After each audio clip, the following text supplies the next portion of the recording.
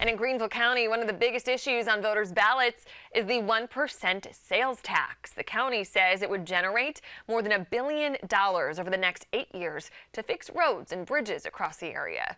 Now, earlier this year, County Council gave final approval for that referendum to appear on your ballot with an 8 to 4 vote. And we know it's a divisive issue for voters, so just days from now, we'll bring you both sides. We hosted a debate on that issue this week for the tax. County Council Chairman Dan Tripp, one of the leading proponents since the start, and against the tax, County Councilman Steve Shaw, one of its toughest opponents. The exclusive Fox Carolina debate between the two of them will air on Tuesday at 7 o'clock right here on Fox Carolina.